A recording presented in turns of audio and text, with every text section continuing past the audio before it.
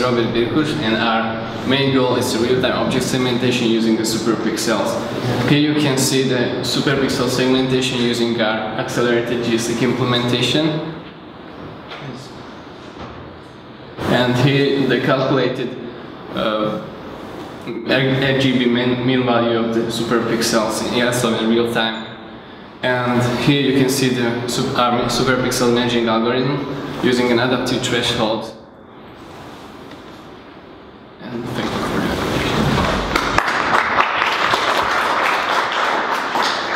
hello, my name is Daniel Mikesh, and my topic is real-time water simulation with wave particles on GPU. Now, imagine you are playing a computer game and you are throwing a rock in the water and nothing happens. We tried to solve this problem by uh, creating this interactive list so it can run in, in computer games. We also aim waterway behind the float and our implementation is on the GPU. Thanks.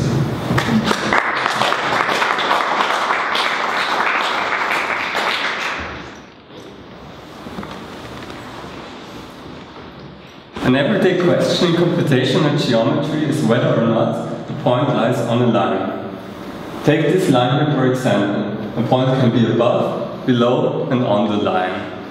But let's take a closer look. What the heck? What you can see here is that fixed precision means it A. Arbitrary precision can fix this, but it is slow. So what can we do? Use the GPU, of course.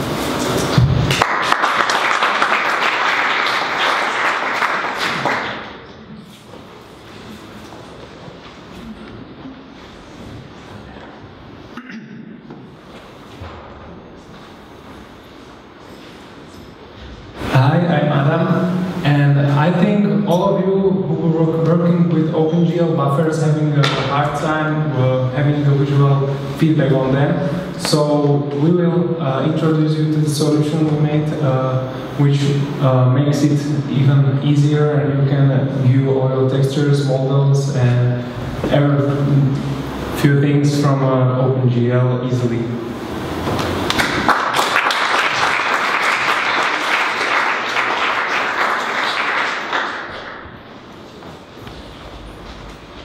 Welcome everyone, my name is Thomas Trautner and I'm here to present a novel approach for uh, digital exploration of a virtual archaeological excavation And uh, we did this by not only visualizing all different types of finds and uh, finding materials, we furthermore uh, did an arbitrary slicing of surface layers and furthermore we displayed a hierarchical order of stratigraphic layers. And finally, the brushing, which is used to mark certain areas of interest. And if you are interested, come to our talk on Tuesday morning. Thank you.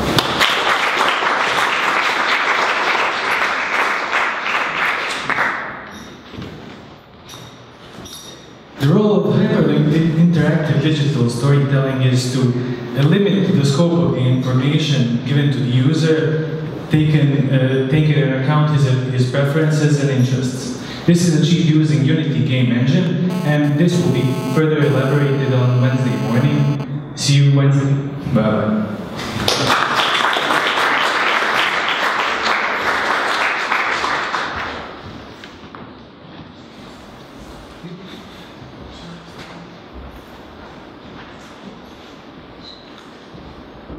Hello, my name is Daniel Gera, and tomorrow in the morning I will talk about cell unity.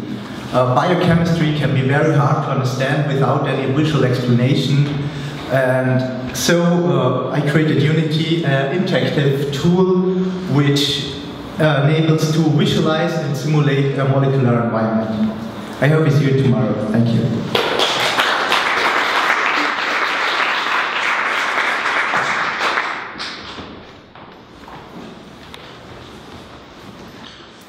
Uh, hello, um, Markus Schütz. Uh, tomorrow morning I'll uh, talk about rendering large point clouds in web browsers.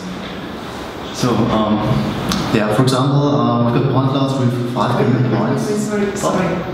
This is the guy who's not there.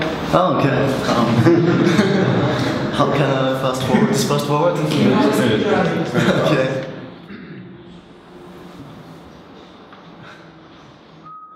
Yeah, um, we'll talk, also I'm talking about rendering point clouds in uh, web browsers.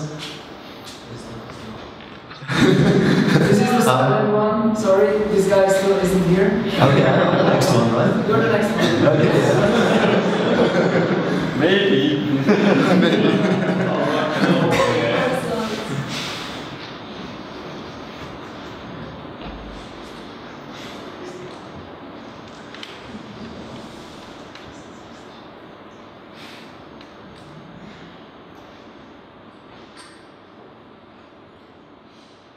Finally.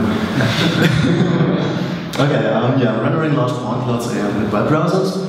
Uh, this one here, for example, consists of 5 billion points, and uh, it's even hard to render this on uh, desktop hardware. But um, yeah, we've um, employed some algorithms to make it possible to watch this in browsers like Chrome and Firefox or and Opera, even on some mobile devices. So if you're interested in this topic, come uh, watch the presentation tomorrow morning. Thank you.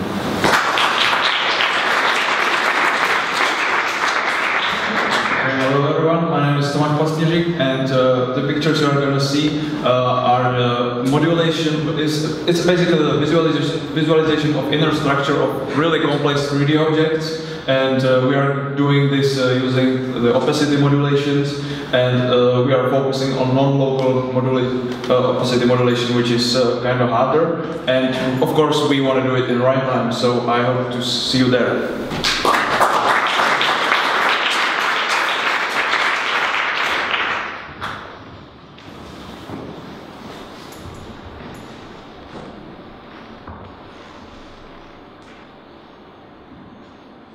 Okay, maybe I will uh, not uh, surprise you when I will talk you what, what the uh, eye tracking is, and probably you know also that they are mm, damn expensive.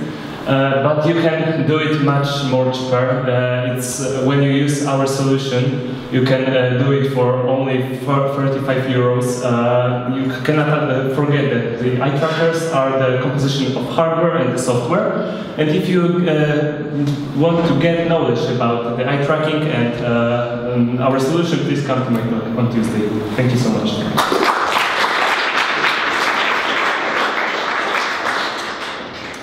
Hello. Uh, so in general, uh, in, order, in order to detect uh, objects and images, we use uh, interest point detectors. Uh, but it's usually uh, it usually takes a long time for researchers to, to design them. So we have developed a system that designs them automatically.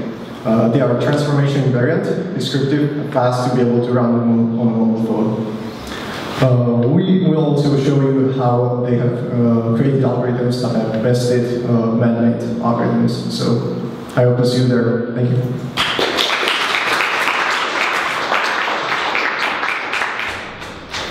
Hello, my name is Robert Bukowski and I'm from Szczecin in Poland. Uh, so if you are a casual player, you obviously hate dying. Uh, and when you play online, you hate campers. Uh, if your computer is better than the NASA ones, you obviously hate frame rate drops. And you are a nervous player, you hate uh, uh, loading screens.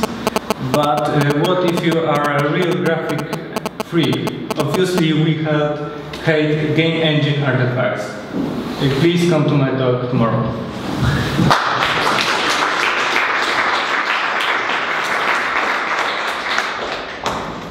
Hello, I'm Hannes Blank, and uh, my project is about scanning users uh, with the Kinect sensor. We capture color and depth frames, and with this we generate watertight face meshes with all the missing inter with all the missing information interpolated. I hope I see you on Wednesday morning. Thank you.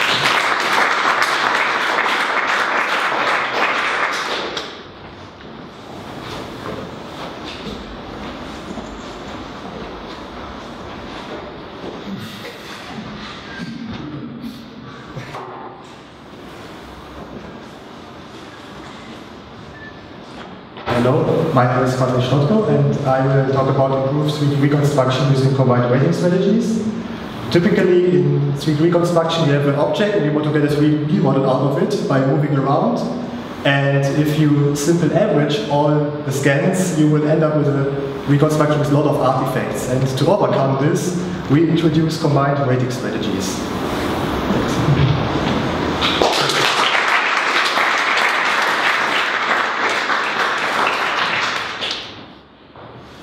Hi, my name is Uh, and I will present a new method for the reconstruction of buildings from LiDAR data, which is performed in four steps. Uh, first loss, and then clustering, adjacency graph, and modeling. In the first step, we uh, fit surfaces to the neighborhood of each point, and then the, these points are clustered, and between these clusters, an adjacency graph is constructed, which is then used to determine buildings' boundary points and edges. Um, in this way, we uh, obtain these results. Uh, thank you. I hope I see you in one.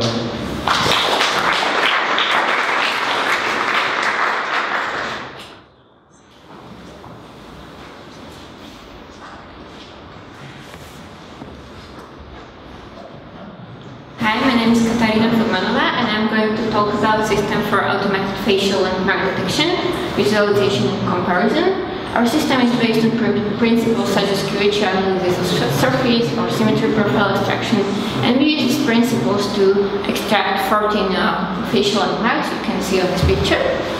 And we also developed several tools for facial analysis based on these landmarks and for each of these tools, we develop specific visualization to highlight um, the details. So if you are interested in this topic, please come to my presentation on Wednesday afternoon.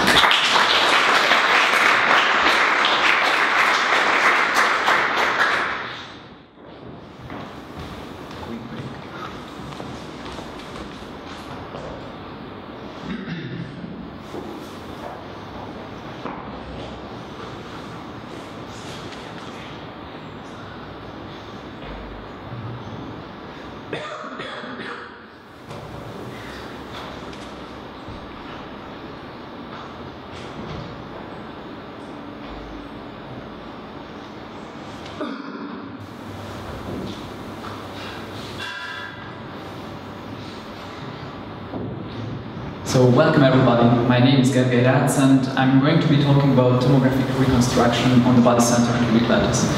Usually in practical applications it's very important which combination of lattice and reconstruction filter is combined for uh, getting a smooth and isotropic reconstruction. And as you can see in these illustrations, the best behavior had the BCC lattice combined with the trilinear B-spline, which is a separable one itself. And uh, if you're interested in more details, then I'll be happy to see you on Wednesday afternoon.